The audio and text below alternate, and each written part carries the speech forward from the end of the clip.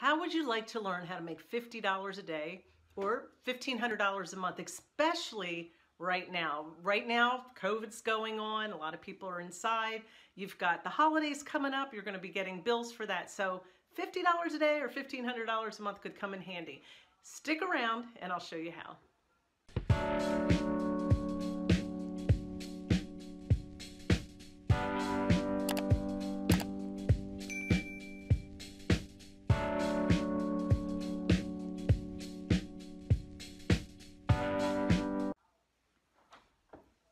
All right, so what we're gonna talk about today is nine different ways that you can make $50 a day or $1,500 a month and use that money to get out of debt for Christmas. Uh, the holidays are coming up. I know this is a time that we love to spend, especially since we're stuck at home.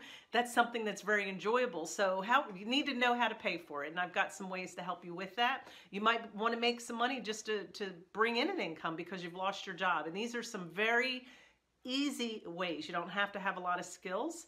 Or maybe you're trying to build a YouTube channel and you want some revenue while you're working so hard building up your channel. So whatever your reason is, I've got nine different ways to help you earn some money. And I've actually used several of these. All right, what I'm gonna do is chunk them into three sections. The first three ways that I'm gonna show you to earn money are things that you would leave your home for, okay? So they're outside your home.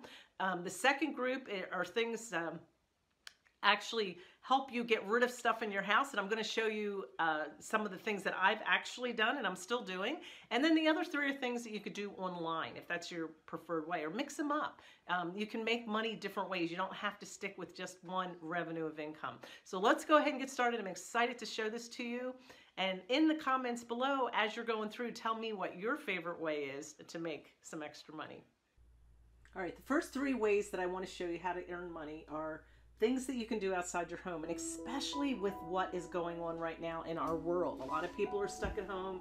Uh, people are working from home or they're trying to go to work or their kids are at home. So there's lots of situations where there's a lot of people out there in your neighborhood that need help. And the number one way that I think, especially if you're a college student or a high school student, is babysitting babysit. Your neighbors are, like I said, some of them, the kids are home and parents can't get to work because they've got to stay home with the kids. So they may want you to even help with the kids' education online. Um, make sure that you're there as a grown up to make sure that they get online on their Zoom calls and things like that with their teacher. And the parent can then go to work and pay you to help do that. So you're really, especially like I said, if you're a college student or a high school student, because now your time is very flexible, because you are probably doing your schooling at home as well. So it's a great way for you to make some extra money. You can make 10 to $20 an hour depending on who you're helping, what their income is, and whatever you agree upon. But $10 an hour to help babysit is not bad money. And definitely something that is helping your neighbor. Another way that you can make some extra money is by walking dogs for your neighbors. Maybe you have neighbors that are elderly and maybe right now this time of year, especially with winter coming on, it's hard for them to get out and walk their pets or maybe parents are stuck inside trying to get everything done, their job, their kids schooling, and nobody really has that time to take the dog for a walk. So that's something that you could do that would be valuable for another family. And again, check out your neighbors, find out who they are and what their needs are. You can make up a little flyer, put it in their mailboxes, and let them know what some of your services are. Think outside the box. There are other things that you could help do. But those are some um, main things that a lot of people are going to need help with right now. And the third one that I have for today, and there's lots and lots more, is become an Uber driver. If you've got your driver's license, you have a good driving record, you have insurance, start driving for Uber. There's always people trying to find a ride somewhere, and you can make 10 to 15 to 20 dollars an hour. It depends on where you live, on what kind of pay that you would get. So what I did, just Google it, Uber drivers pay, and then put your city and state in, and it's going to give you an average amount that people make in your area. Now, the second group of things that I want to show you, this is actually something I've done all my life and I'm still doing it.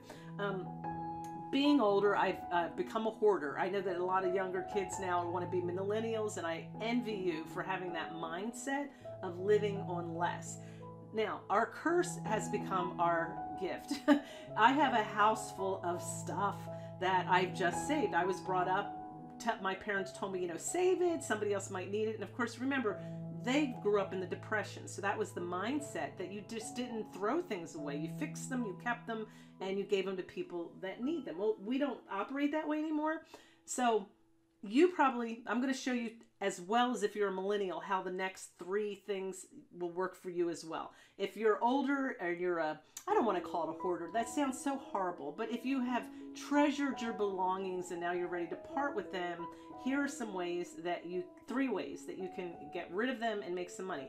There's a program called Poshmark.com, especially if you're younger um, or, or older, it doesn't matter, but if maybe you have a lot of clothes, maybe you've you just you know have lots of shoes and purses and coats and clothes and all these things and you're starting to get more of that millennial mindset that i don't need so many clothes in my closet. Or maybe you're just someone that likes to rotate your clothes a lot but this is a great way that you can get rid of clothes selling online. And basically a lot of your name brand clothes will sell very well on here and you can get pretty good money for it better than a yard sale. So definitely check out poshmark.com now ebay eBay's been around for a long time. It's a great way to sell things. I, several years ago, I moved to a new house and I needed money to help pay for some um, updates to the house. And so I sold a lot of things at that time on eBay. And that's that's probably been about 20 years ago. I had a lot of Longaberger baskets and things like that. And I, I made like $4,000 in just a couple of months selling things that I had. And I was able to take that money and put it back to use into the house that I had bought at the time. But it's it's really hit and miss. You've got to figure out what will sell, what won't. Now, what I typically do myself is I will go to Craigslist or Facebook Marketplace. Now, Craigslist is um, something that you can see find in your area. Um, I go to Craigslist a lot when I sell things like chickens or goats because you can sell livestock on Craigslist, but we've also sold vehicles on there, um, different pieces of farm equipment, things like that. Now, I've also gone into a lot of my into the basement and gone through a lot of boxes and I found toys that the kids used to have and they're like, I don't want that junk. And so I've been selling it. Now, this is what's cool. Let's say you are a millennial and you're like, I don't have anything to sell. I don't really keep things around. Well, this is what I advise you to do. Go to eBay and find something that you know might sell well. And one of the things that sells really well is Star Wars Legos. Let's just use that as an example because I did sell some Star Wars Legos. I had bought some for my kids. Um, you know how you buy things ahead, they were on sale. Well, the kids grew up and I found a box of Christmas presents that I never gave to them. And I made like $200 on some Legos that were in the box, not opened, and I bought them on sale. Legos is um, Legos is very popular. Star Wars is very popular that what you can do is maybe find a a lot of them, which means it's a pile. Maybe somebody has a pile of toys and they don't want them. Like here you go. Right here it has a lot of four random Lego Star Wars minifigures. So they they're not even sure what's in there. It's a mess. It's a whole bunch of stuff, right? So you could maybe get it for $25. All this stuff. And then look down here. This person found um, Star Wars Clone Troopers a lot of just five for $74. Here's the point you have to know what you're looking at, what you're selling, but in this pile of, of mess up here, they call it a lot, you might find some really um, five or six that you could put together and sell for more. I just did this with Polly Pockets. I was selling Polly Pockets that we had in our home, and I was getting, I didn't know they were so valuable. I was selling them on Craigslist, um, on Facebook Marketplace, and then I came here and I looked up Polly Pocket lot. Whoops, not log lot. And I actually bid on a lot, and I got a whole bunch of Polly Pockets. And then at home, I separated them into individual parts and got 15 and $20 a piece for them. And I spent I've probably spent 200 with taxes on the lot and I turned around and made $300 on it. So you have to know what sells. So you're going to have to spend some time looking on Facebook Marketplace, um, what's selling, what are people buying, and then come here and see if you can buy them. I have a friend that used to buy car parts on eBay. Somebody might have sold um, old car parts. They were maybe rusty looking, but he knew he knew his cars, and he would buy them take take it home, go in his garage, shine them up, make them look brand new, and turn around and sell them right back on eBay again. You don't have to sell on eBay. Um, Facebook Marketplace and Craigslist is local, and I do really well keeping it local, and then I don't have to pay eBay a fee. So I typically buy on eBay and then I sell on Craigslist and Facebook Marketplace. So I really gave you four things there, but you can buy and sell. If you have auctions near you, sometimes you go go online and look at different auctions and pick up like a whole skid of something. My husband one time picked up a whole skid of those old electrical spools that people like to take them and make them into tables and paint them and things. He bought six of them now he bought eight of them for like $45. We kept a couple and then we sold the rest of them for like 40 bucks a piece. So think outside the box. Just find things that you like that, you know, you, know that other people might like not uh, might like as well. The thing is, okay, you might get stuck with something, then just sell it cheap and get rid of it and find something else. Great way to make money.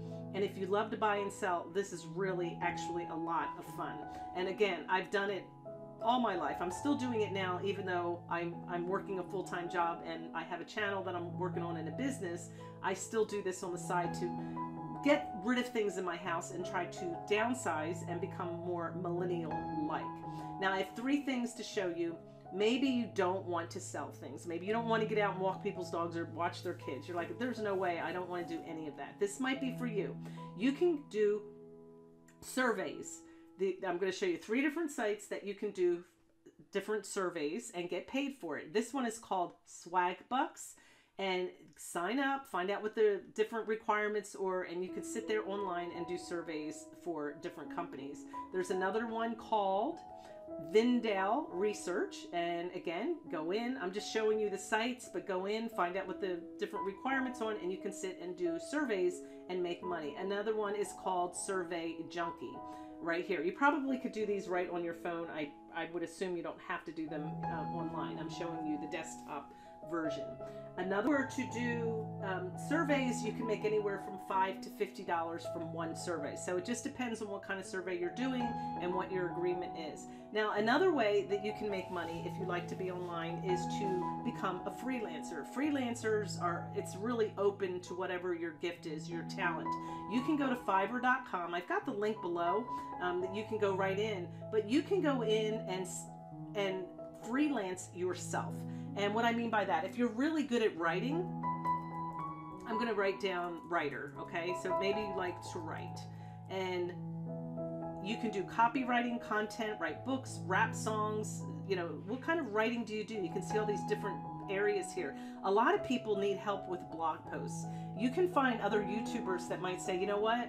I can send my YouTube in to rev.com or temi.com and get a transcript, would you please write it into a blog for me? I actually have somebody that does that for me. I don't have time to sit and write, but she's got all the content, you know, and pretty much she goes in and makes it flow real well and adds the pictures and all the links and all that stuff. So it's a great way to make money. And you can make anywhere from 20, 30, 40 dollars an hour doing this, but you have to work your way up into it and show that you're reliable. This person's probably starting out at 5 because they want to get some testimonials under their belt and then they'll um, go up from there. And again, you have to, you know, contact the people, get some of their examples and things that they do. But this is what people do to get money is they can become writers. And that if you like to write, that's something you can do. Um, graphic design is something else. People are paid um, on YouTube. You know how you have the channel art on Facebook. There's that that banner people don't like to spend time designing those. If you're good at that and you really enjoy it, charge people 10 bucks to make them a banner or, or to make them uh, a post for Instagram or something like that. Just say $10 for the banner or $10 for the channel art and you can make some good money. Another thing that you can do, maybe you love to post on Pinterest or you love to post on Instagram. So let's see, are there people hiring themselves out for that? Pinterest. You could do that for somebody else. Um, charge a certain amount per hour and how much you're going to make per week and then hire yourself out to do that. Again a lot of your people that are starting out their new businesses don't have time to do every single thing that needs to be done. And you're thinking you mean people will pay me to post on pinterest for them? That's crazy because you love to do it. Or they'll pay me to post on their instagram? Absolutely. If you're good at it and you enjoy it that's a great way to make some money. Obviously, like I said, you got to start out small and grow until you have some of those testimonials. I hope this was helpful for you. Um, there's other ways that you can go and try to become a freelance writer. You can Google it and find other sites, but this one seems to be a good place to get started if you want to hire yourself out. You would be an assistant to somebody. A virtual assistant is basically what you would be called, but you're they're they're outsourcing their work and you're being hired to do it. There you go. Hopefully you can find a way to make money. Tell me down in the chat the, the chat below. You know, the comment below. Sorry about that. I teach online and we call it a chat, so I apologize for that. But go ahead and put in the comments below. Let me know what you think. Are there other ways that you have found that you've been able to make money on the side to help pay some of those expenses.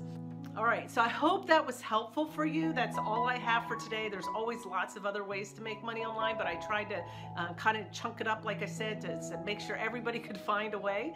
Um, don't forget to subscribe to my channel. Let me know if you liked the video, and I will see you on the next video. And thank you very much